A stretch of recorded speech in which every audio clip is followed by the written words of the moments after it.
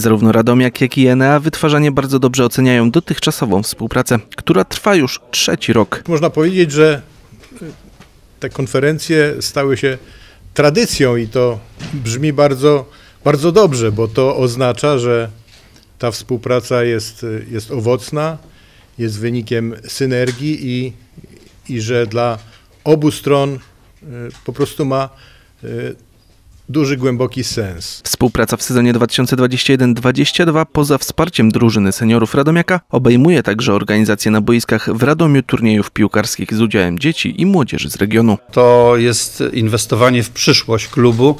Mam nadzieję, że już wkrótce utalentowane, utalentowana młodzież e, trafi do, e, do klubów e, juniorskich, prawda?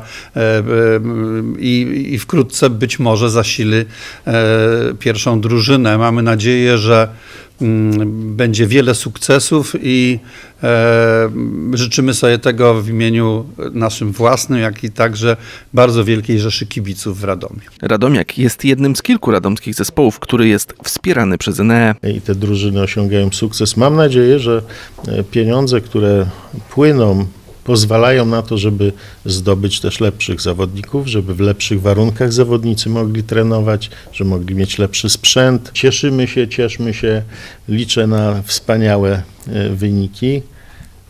Z tego co wiem, prezes mówi, że jeśli będą dobre wyniki, to to wsparcie może być jeszcze bardziej szczodre. Zieloni obecnie zajmują piąte miejsce w tabeli PKO Ekstraklasy.